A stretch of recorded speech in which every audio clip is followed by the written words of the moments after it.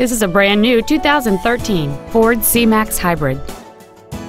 It features a 2.0-liter four-cylinder engine and a continuous variable transmission. Its top features include a rear-view camera, a speed-sensitive volume control system, and traction control and stability control systems. The following features are also included a low tire pressure indicator, a power passenger seat, cruise control, a CD player, an anti-lock braking system, dual airbags, three-point rear seat belts, rear seat child-proof door locks, air conditioning, and a rear spoiler.